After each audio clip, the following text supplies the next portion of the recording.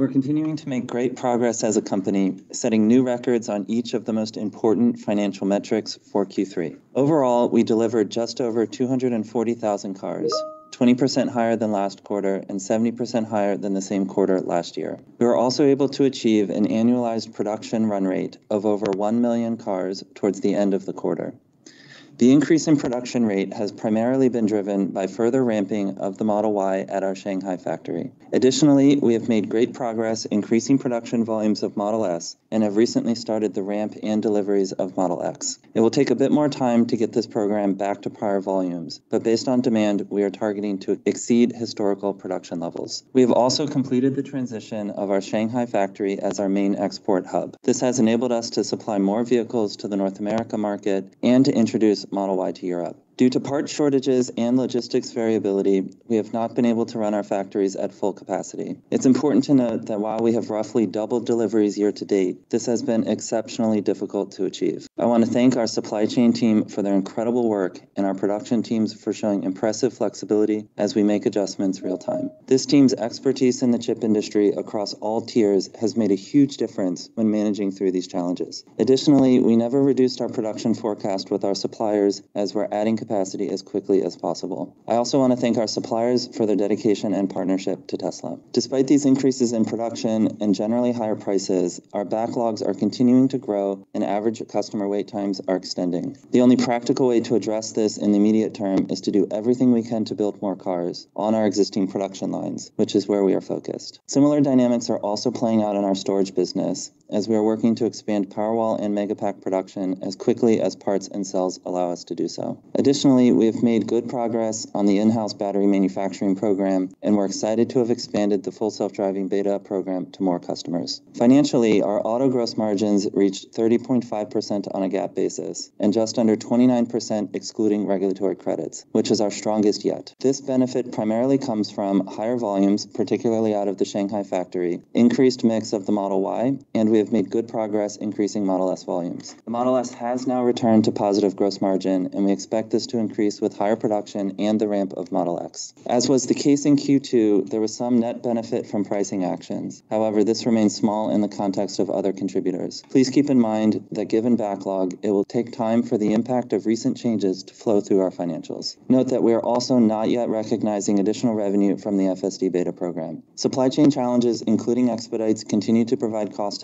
headwinds, as was also the case with FX this quarter. While we are seeing an impact from the rise in commodity and labor costs, we have also been adjusting pricing, which should help to compensate. Overall, as I mentioned in our last call, our P&L continues to benefit from the marginal profitability of each incremental unit with higher fixed cost absorption. As a result of the great progress on margins, volume, and appropriate management of overhead costs, we were able to achieve an operating margin of just under 15%, exceeding the long-term guidance we've laid out previously. On cash, we generated record operating cash flows of 3.1 billion and continue to invest heavily in the build-out of manufacturing, supercharging, and service capacity. We also continue to retire high interest rate debt, including the early settlement of our 2025 senior notes of 1.8 billion during the quarter. As we look forward, we are clearly quite a bit ahead of the pacing required to achieve our target annual growth rate of 50% this year. Q4 production will depend heavily on availability of parts, but we are driving for continued growth. We are also nearing assembly of our first production cars in Austin and Berlin. It's important to stress, while the first production car is an important milestone, the hardest work lies ahead in the ramp. Please keep in mind that we are pushing the boundaries on new product and manufacturing technologies at these factories, which makes it difficult to predict the exact pace of the ramp. These factories will also partially weigh on our margins as we work towards volume production. Overall, I'm very proud of what the team has accomplished, and I'm excited for our next phase of growth into Q4 and into 2022. The team has done a tremendous job improving our financial health in a short period of time, while also continuing to improve our precision and pace of execution. Uh, the first question is,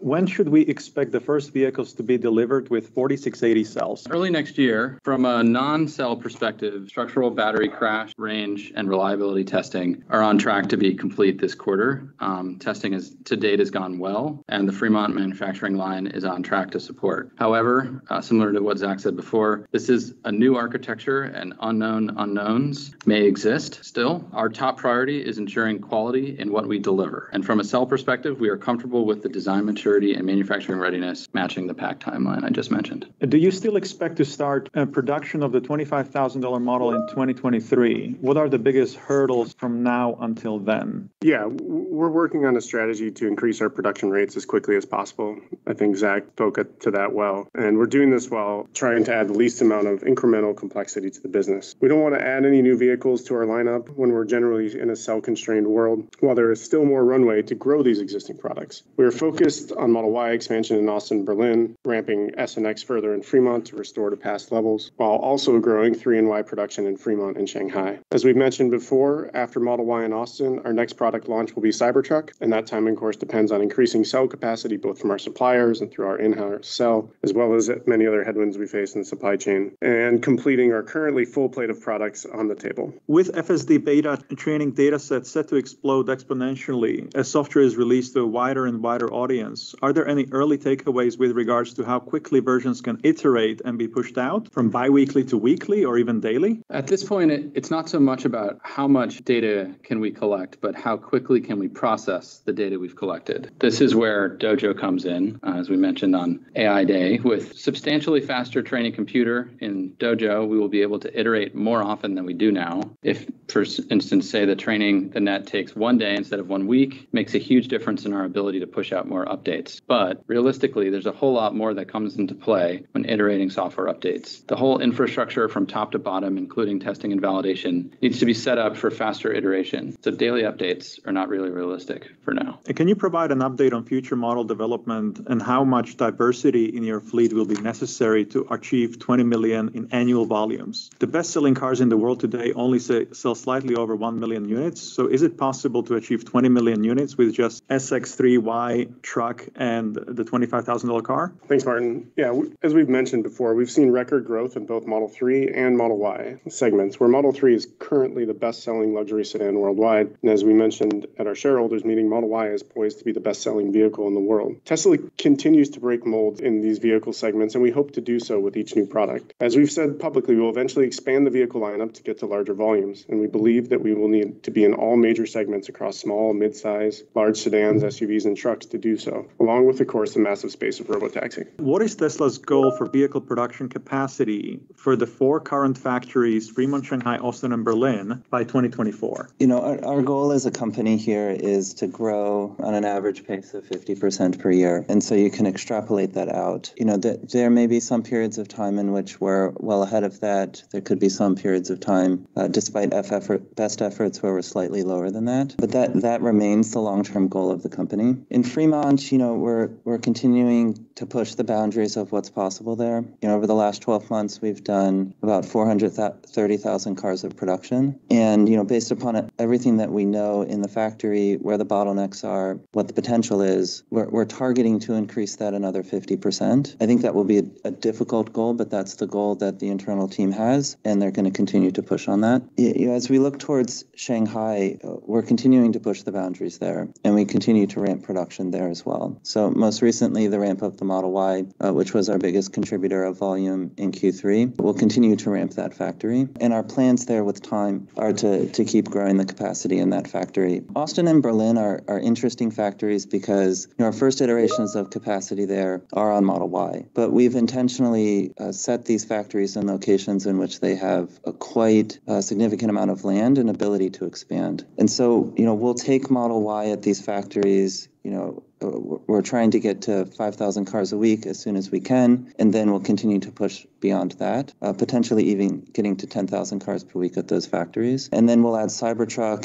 here in Austin and continue to grow from there. So, you know, our, our goal is to get to millions of cars per year over the next couple of years, and then ultimately in the long term, be able to achieve 20 million cars per year. We're going to grow as, as quickly as is feasibly possible with an eye towards a 50% annual growth rate. What is your view on the tightening regulatory environment environment for FSD in the investigation and broad data request by NHTSA. Some of the recent nominees to NHTSA have been publicly critical of FSD, including engaging with short sellers online. How will you manage this environment? Thanks, Martin. Yeah, as we have been for years, we, we always engage with NHTSA and other worldwide regulatory bodies to share our knowledge and to work with them on our approaches on both active and passive safety. There are ongoing regulatory inquiries taking place all the time, and especially on the subjects like FSD that are at the cutting edge of technology development. During these investigations, my team, myself, are always cooperative as much as possible. We expect and embrace the scrutiny of these products and know that the truth about uh, their performance and the innovations our products have will ultimately be all that matters. In the end, and as I've said on previous calls, we take safety as a top priority in all our designs. This is because our primary motivation is coming from a team of incredible engineers designing software and hardware that saves lives and prevents injuries. In doing so, we'll continue to be transparent to the public on how our technology is both developing from an autopilot safety data, the latest of which we just shared in the, in the shareholder update. And you can also see and review a wide variety of customer post FSD uh, videos on social media. Yeah, just to add to that, I mean, as Lars said, uh, safety is extremely important for Tesla. It, it's the right thing to do. You know, it, if you look at various independent testing and regulatory testing of our products, you can see the work of the incredibly talented engineers and the results of those tests. And you know, our, our goal in developing uh,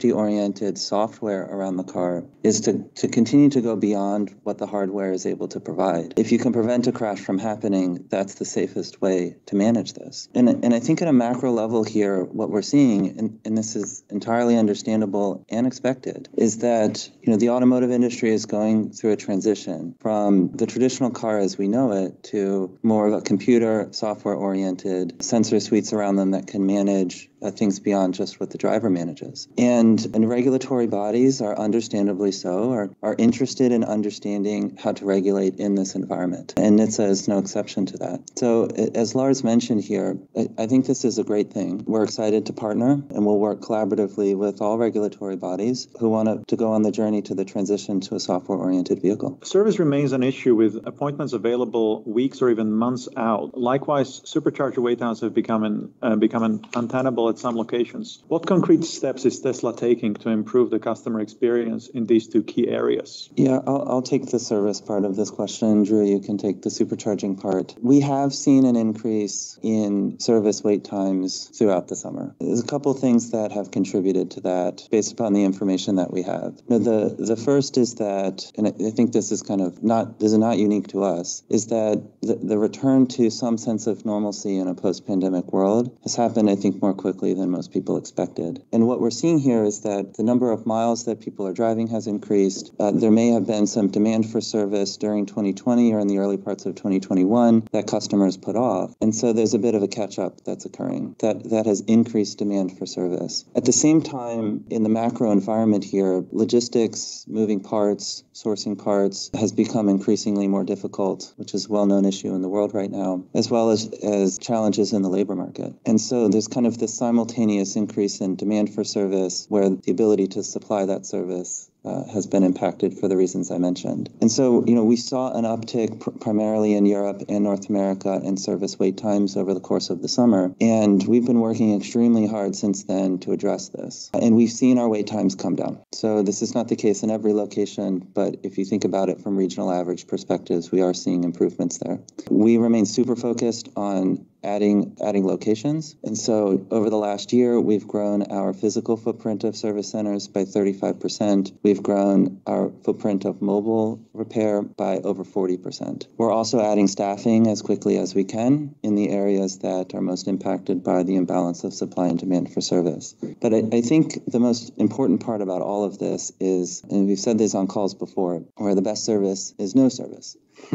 and so uh, we have been incredibly focused as a company, both on the initial quality of our vehicles and reliability of our vehicles. And we've seen pretty substantial improvements in both of those metrics over the long term and over the last couple of quarters. So it, it is something that remains on our minds. We monitor this very closely, but hopefully that's a helpful explanation into the context and what we're doing. And on the supercharger side, the supercharging team monitors congestion and plans expansion to ensure customer experience with minimal wait times alongside the growth in our vehicle fleet. While we certainly have work to do in, in expanding capacity in some congested areas. Average congestion on the network has decreased over the past 18 months. Nonetheless, we're not standing still. Uh, we are executing accelerating expansion plans globally. The network has doubled in the last 18 months, and we're planning to triple it over the next two years. And even so, on an individual site basis, to combat existing congestion more quickly where it is isolated and problematic. We expedite local relief sites, deploy mobile superchargers, and we try to introduce pricing strategies that encourage more off-peak usage to avoid the waiting. Just one thing to add on supercharging.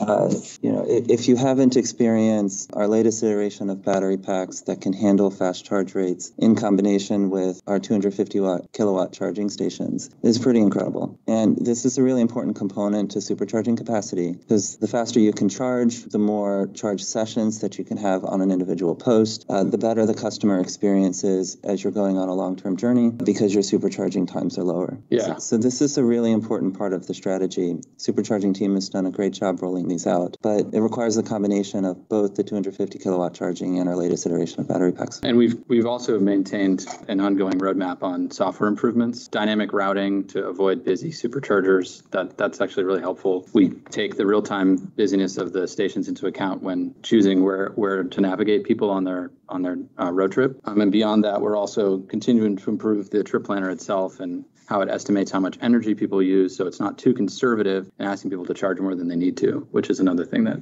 can delay a, a total trip. Is Tesla considering any other ideas other than FSD with real world AI that can bring additional software revenue to Tesla? If not, can Tesla consider building interesting games around FSD beta? Sure. At AI Day, we did talk about a potential future uh, where Dojo could be used as a neural net training platform for other companies. Uh, it's not a focus of ours today as we're fully subscribed on Dojo with our internal uses. We do expect to continue to improve the in-car experience in the context of FSD. How has FSD take rate changed since the introduction of monthly subscription? Are there any plans to increase the FSD pricing as wider release becomes imminent? Um, I'll take the second part of the question first. You know, we won't be providing any kind of forward-looking commentary on our pricing strategy or what may happen here over the near term. With respect to the first part of the question, this has been an interesting thing for us to unpack within the company. I mean, what, what I'll say just as a general statement before I make a couple specific comments is that you know the things that we learn on FSD subscription today are, are not necessarily all that relevant. This is really more of a platform uh, for when FSD beta goes into wide release and the features and functionality become more accessible to more customers. The the second thing that I'll note is that you know if you if you look at the pricing, the monthly pricing of FSD subscription, and then you compare that to the cost of either rolling FSD option into your lease or your loan on a monthly basis, the most economical way for a customer to enjoy the features of full self-driving is through purchasing it up front and, and rolling it through their financing.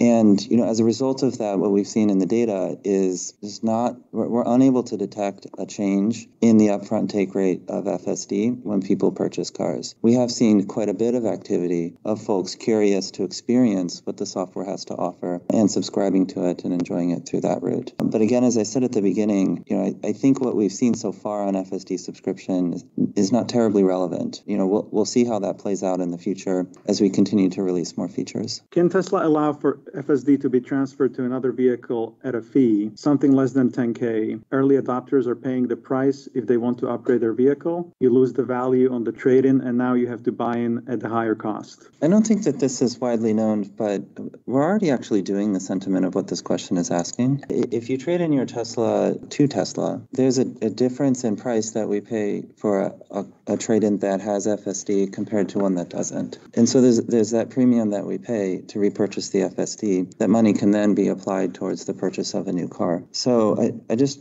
you know I, we hear this feedback quite a bit. We see it on social media, we see it in the forums, etc. And so this already does exist, not directly in the form here, and and we don't call it out explicitly in the trade-in. Potentially that we have increased the price of your trade-in as a result, and hopefully this clears this up because we do actually do that. Elon said that we get an update on Cybertruck in November a year ago, but it hasn't happened, and we know there are a lot of updates. Uh, will you show off the new and improved Cybertruck? You get a lot of questions on Cybertruck. We've been busy detailing the Cybertruck too. To, to achieve the, the prototype version we shared with customers uh, a while back. As you may have seen recently on social media, we built a number of alphas and are currently testing those to further mature the design. And while those point out a, a few key additions like rear steer, there are also a number of smaller or less visible improvements, though the product is largely true to the initial vision. We'll continue to work through the product in the beta stages that we're in now and, and look to launch that um, late next year. The next question comes from Pierre Ferragu from New Street Research. I actually I'm very intrigued by uh, what you guys are doing on the insurance front. And so you have now in the market in Texas uh, an insurance product for which uh, the premium varies in, uh, as a function of the safety score of the driver. And so I'd, I'd love to hear you about that. You know, you must have some initial data points about market reaction, you know, what's the uptake? And from there, can you tell us about how you think you're going to distribute that? Is that going to go through your install base very easily, or is it going to be like a heavy marketing push? And then maybe tell us about your expansion plans. You know,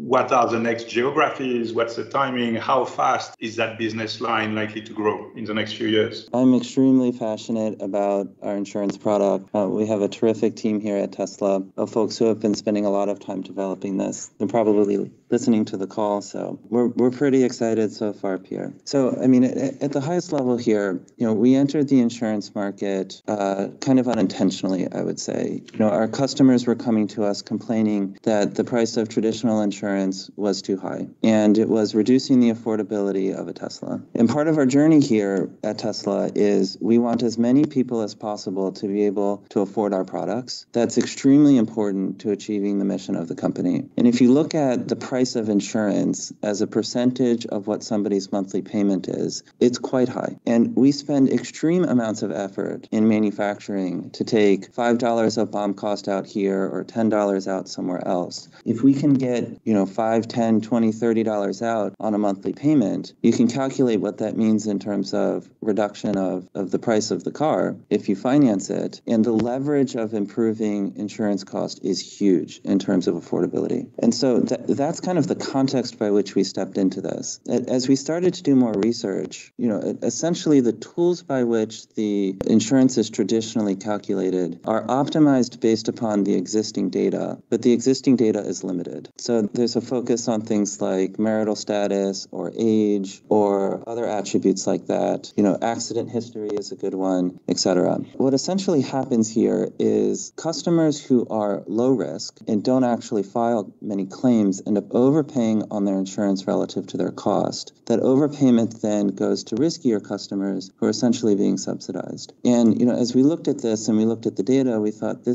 this just doesn't seem like it's fair. You know, at Tesla, because our cars are connected, because they are essentially computers on wheels, there's enormous amounts of data that we have available to us to be able to assess the attributes of a driver who's operating that car and whether those attributes uh, correlate with safety because we do get a signal when a car has been in an accident. So we've been spending our time looking at, you know, hundreds of different variables and also looking at billions of miles of driving history. And we've been able to fit a model that is able to predict with decent accuracy the probability of collision over a period of time. And and the model is not perfect, right? The model is a function of the data that we have available. That data set continues to grow. We continue to experiment with with new variables, but we do have a model that that that works pretty well so far. And and from that model, being able to predict frequency of collision, we can then align that against a price curve. And we can have indi- individualized pricing integrated into the car, integrated into the app, integrated into that customer's experience with a feedback loop back to the customer on how they are driving after every drive, the attributes that they were successful on or unsuccessful on, and the tips of things that they can do to improve their safety. So that's what we've developed. We then included the safety score as a part of the FSD beta enrollment program, where you know we have almost 150,000 cars currently using the safety score, and I believe the latest data is over 100 million miles of driving. So we've been able to go back and analyze that data, and we've learned two things coming from that. The first is that uh, the probability of collision for a customer using a safety score versus not is 30% lower. It's a pretty big difference. It means that the product is working and customers are responding to it. The second thing that we've looked at is what is the probability of collision based upon actual data as a function of a driver safety score. And that is aligning with our models. Most notably, you know, if you're in the top tier of safety compared to lower tiers, you know, there's multiple X difference in probability of collision based upon actual data. So, you know, this is a, a very new and very exciting frontier for us. I, I know that was long-winded, but I, I, we spent a lot of time on this and we put a lot of thought into it. Spe- specifically with respect to the rollout, the insurance industry in the US is intensely regulated and it's regulated on a state by state level. That means that we require regulatory approvals from each individual department of insurance at each individual state. Texas is the first state that we launched in. I do want to thank the, the Texas insurance regula- regulators here. You've been great to work with. We have a roadmap of, of additional states. We will launch the product in those states we receive regulatory approvals. And our goal is to be in every major market in which we have cars in. We, we did a soft launch in Texas, was it last week? You know, what we're seeing in initial take rate data is that, you know, if you compare that to what we're seeing in California, we're, we're off to a good start here. We're very excited about it. We're excited about individual risk based pricing. We're excited about the ability for folks to become safer and as a result save money. And it feeds into our priority of a company of building the safest products in the world. Yeah, if I can add to that, just it's really exciting for the engineering team to see the finance team uh, and, and taking on you know safety in, into their uh, world too. It's it's just pervasive. So. Uh, the next question comes from Joseph Spak from RBC. So Zach, um, you know, as, as you notice, uh, or as you noted, um, you know, you hit low teens operating margins. That was your medium term target. You're there now, despite the number of challenges and you know, not full utilization of some of the plans. So, you know, h- how are you thinking about that target now? Does it allow you to either drive price down further to unlock more demand, invest in other initiatives, or or does that target need to need to change? And in longer term, do you have an aspirational gross margin target as the mix of software and hardware changes? We we have achieved, we've actually exceeded our long-term guidance on on our operating margin target. So we're very pleased to see that. You know, and as we look out over the next quarter and the next year, there's a number of, of puts and takes financially for the company. You know, the the launch of Austin and Berlin will have ramp inefficiencies there for some period of time until we get those factories up and running. And so that's likely to put some downward pressure on our margins as those factories ramp. Our goals are to ramp those as quickly as possible, but as Drew mentioned earlier, there are a number of unknown unknowns that we'll need to work through. We are kind of also in this uncertain environment with respect to cost structure. So we are seeing costs increase on the commodity side. We're getting feedback from our suppliers as we are seeing ourselves, you know, the impact uh, of labor shortage, and then logistics and expedite costs just continue to be a part of our story here. And it's uncertain how that will unfold. You know, it's our hope that these things stabilize. Exactly when that happens is difficult to predict. And you know, we have been adjusting pricing in line with those changes in cost. And so, you know, we'll, see we'll see how that unfolds over the course of the next year. Um, so it's difficult on gross margin to say where that will go. You know, for those reasons. With respect to operating margin, we've been very focused as a company on managing our overhead expenses and operating expenses. And you know, operating expenses as a percentage of revenue has been declining, and I expect that trend to continue to happen. And I think the net of all of this is hopefully that we continue to make progress on operating margin over the next four or five quarters. Uh, as we think kind of forward, you know, the business up until this point has kind of largely been a hardware automotive business with a little bit of software on top of that. Uh, as full self-driving matures, as take rates increase, you know, if we are to raise pricing on that, there's considerable upside both on gross margins and operating margin as that comes to light, as the business starts to become more of a mix of a hardware-based company and a software-based company.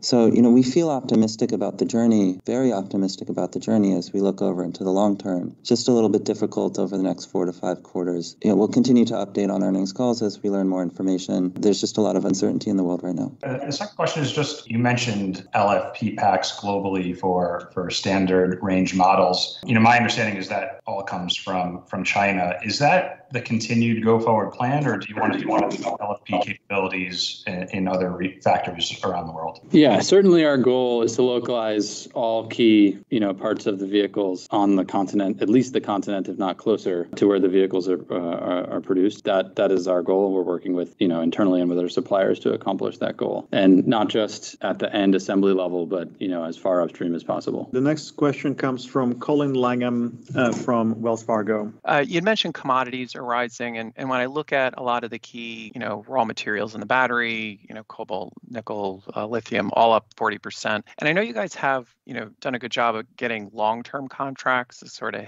mitigate that impact. I mean, have you seen so far any impact from that spike? And if not, I mean, any sense of, of when that raw material headwind might actually show up or, or has shown up? Yeah, it, we, we have seen an impact. Our, our primary exposure right now is around nickel and aluminum, nickel in the cell, aluminum and non-cell. And, you know, we have a mixture of contracts with various suppliers. You know, some materials we contract directly and we have full exposure to price fluctuations. Uh, we do have a number of long-term commitments, uh, long-term contracts in place. We also have uh, contracts where there's some amount of cost sharing based upon the movement of indexes. And so, you know, as these have been moving, some of those costs have been flowing through to us. Uh, it's not a substantial amount of cost, but it's not small. As we look towards the next year, you know, I certainly hope it doesn't play out this way, but it's possible that we continue to see more of cost headwind as a result of these movements it, it's difficult to say precisely, but you know the volatility and, the increases are just so substantial. And, and there are certain suppliers that uh, maybe up to a certain point have been absorbing some of the increase. And as, as contracts ex- expire there, or we have to renew and extend them, we'll have to return to negotiations. And so, you know, what, what we have to do as a company and what we're intensely focused on is we need to be continuing to drive down the cost of our products, which we have been doing, and we have to overcome cost increases that are outside of our control. So whether that's resourcing components or redesigning components or finding ways to be more efficient in manufacturing, uh, we have no choice but to continue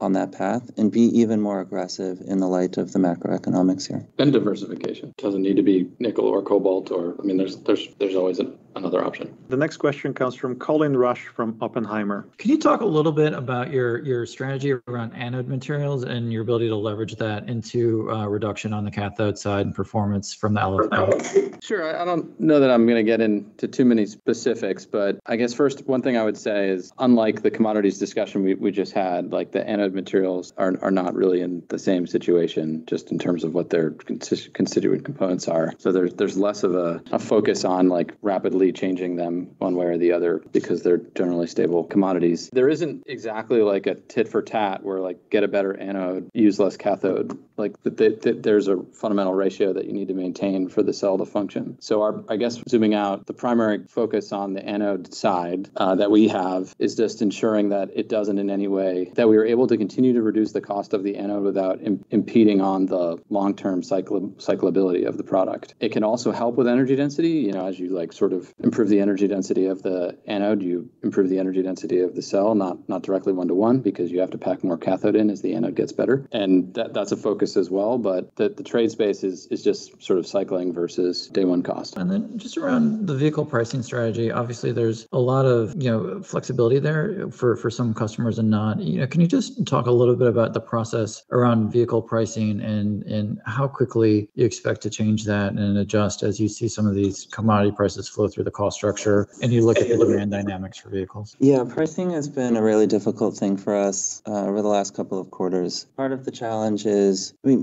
the great thing that we're seeing in the space right now is you know, there there appears to just be quite a profound awakening of the desirability for electric vehicles. I mean, to be totally frank, it's caught us a little bit off guard. And you know that that kind of awakening and and change in consumer sentiment. I'm sure there's lots of reasons that go into it, but folks want to buy an electric car and folks want to buy a Tesla right now. Uh, it's very exciting for us. You know, at the same time, you know, we have installed capacity to build more cars, but we're constrained by a number of dynamics, as we've talked about in great detail. And we are putting in extreme effort to build as many cars as we possibly can. It's hard to overstate how extreme the efforts are. It's quite the grind. We're trying as hard as we can to, to maximize that capacity and to be able to meet the demand that we're receiving. But, you know, the net net of all of this is that we're not able to increase production capacity fast enough. So, you know, th- th- at the same time, we, we are seeing macroeconomic cost impacts on our structure, as we've discussed previously on the call. So, we're trying to think through, you know, if somebody orders a car now, it could be delivered in some cases, you know, depending upon the car and which factory, could be a couple of months, could be a couple of quarters. And the timing in which we build that car will be just you know, just before that car gets delivered? And you know, what will the world look like at that point? And so we're, we're trying to think through how the cost structure is evolving. How does how does pricing need to change with that? What are the supply dynamics in the space? The, the other thing that I'll just note on pricing is that you know companies change pricing all the time. The the difference is that when Tesla changes pricing, it's extremely transparent, uh, where that's not always the case otherwise. And you know sometimes our pricing will increase, sometimes our pricing will reduce. Sometimes to the public, our pricing changes may not seem to make logical sense. But you know there is a strategy that we work behind the scenes as we're balancing supply and demand, as we're also trying to balance various shortages on parts, as we're trying to manage wait times. All of that goes into the optimization here. The next question is from Brian Johnson from Barclays. By the way, great to hear there's a team at uh, Tesla, not just a one person show. I want to drill down a bit more on FSD. You know, in December of 2020, in a Business Insider interview in Germany, your leader said that he expected level five autonomy by December 20, within a year. So that would be now. Yet, you know, we look at the progress in FSD and, you know, some of the issues you see on YouTube, and it looks very much like a level two, two plus system that requires vigilance, as in fact your disclaimers say. So I guess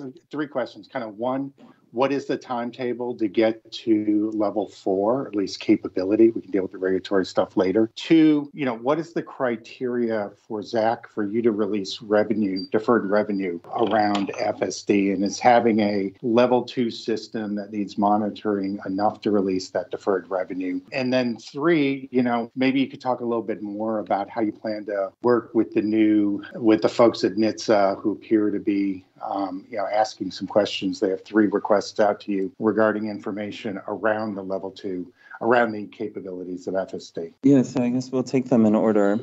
You know, it's difficult to be specific on the timelines. The autopilot team is working extremely hard, iterating on every version. We are being extremely transparent, you know, through the release of this to public customers who are posting information online. So, you know, when you're using full self-driving and you're going through the iterations, you can feel the progress. For those who don't have it in their cars, you know, social media is excellent at getting a sense for how that's progressing. Uh, and the team is moving quickly with every iteration, with every update, and they're working very hard on that. On your second question about the criteria to release deferred revenue, the way that this works is, you know, we, have made certain commitments as as to what this this product can offer at the time that a customer has purchased that. And so what we have to assess is, you know, have we met those commitments, and is uh, the software widely available to the folks that we've made those commitments to uh, within a certain geography. And you know, given that FSD is still currently in the beta phase, uh, it's invitation only and it's limited. We have not deemed that to be appropriate for recognition of deferred revenue, and we'll continue to evolve this. We'll continue to monitor it within the finance team to see when we get to the milestones in which we're comfortable releasing. Uh, on the NHTSA question, Lars, do you want to take that? Sure. I mean, as I said earlier, we always cooperate fully with with with NHTSA and other regulatory bodies in, in any sort of investigation they may have, particularly related to you know ADAS systems. When they came out with the standing general order in July, we we, we were quick to respond to that, and, and one of the first and only companies capable of actually meeting the, the needs of, of that report. And we continue to send that information to them as required, you know, weekly and, and as incidents occur. Um, and with the additional investigations, as I said, we, we meet that with uh, great sincerity and we'll, we'll work through them one by one to make sure that all the facts come out and, and, and that NHTSA is well informed about our strategies for both active safety in this case, but also passive safety. As you guys may know, we released um, updates to our airbag and restraint system last week to Model Y using our fleet data. Um, we worked closely with NHTSA on that and, and they were fully in the loop before we did it. So I, I think these kinds of things will continue to, to, to happen in the, the new regulatory space that Zach uh, discussed um, as we move towards a software-based vehicle, and, and, we're happy to be a part of that journey. The next question comes from Trip Chowdhry. I had two quick questions. Uh, first is uh, regarding the two upcoming factories uh, in Berlin and Austin. Who are the two factories different from each other, maybe in the layout, design, assembly lines? And the second question is related to Cybertruck. Uh, who is the supply looking at? Looking at if you look at the exoskeleton steel, is the supply for that material sufficient for uh, immediate ramp up, uh, say in 23, 24 time for Cybertruck? That's all for me. Obviously, uh, as, as we've noted in the past, we developed uh, you know our own our own stainless steel grade for the exterior Cybertruck to meet both the durability and corrosion requirements required for an automotive world. With this raw material and others, as Drew mentioned, we continue to look at multiple sources. Um, we have made some early sourcing decisions in that, but I think we'll keep that one um, internal, and we've already began um, the first cast ingots of that. You know, rolling stainless isn't so different from from rolling any other uh, material. It's just about how hard the rollers are to get to that hardness level. And um, you know, uh, just like every manufacturing process we put in for every new vehicle, we'll work with uh,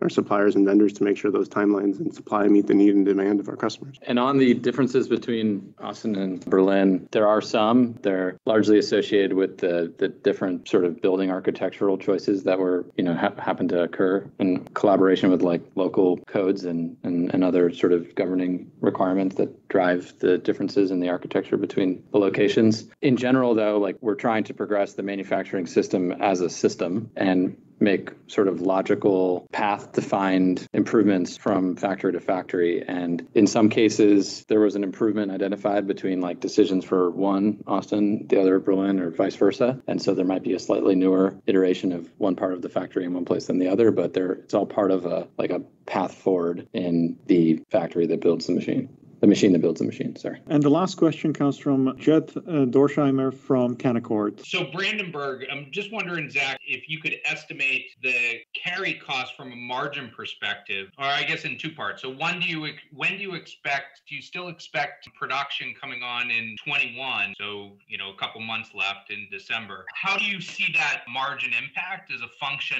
of the uh, carry cost? And I do have a follow up question. So it, it remains our target in both Austin and Berlin to be able to build our first production cars before the end of the year. You know, we, we've talked about this a bit, you know, the unknown unknowns, new factories, new vehicle designs, new technologies, new locations, new teams. So, you know, th- there's uh, quite an execution journey ahead of us. Uh, but that remains our target, and all of our plans are oriented around that. We, we should not expect for, for us to deliver cars by the end of 2021 from these factories, even if we do produce some. So, homologation, regulatory reasons, and we'll want to make sure that we build up some number of cars that we're confident in the quality and the customer experience around them. The, the second thing that I'll say, and I mentioned this in my opening remarks, is be- because of the newness here, it's extremely difficult for us to be precise in what the ramp will look like. And it's possible things things the stars align and things move quickly. It's possible that we're spending the bulk of next year working on ramping these factories. It, it's just very hard to say, and we'll continue to update you all through these calls and through other forums.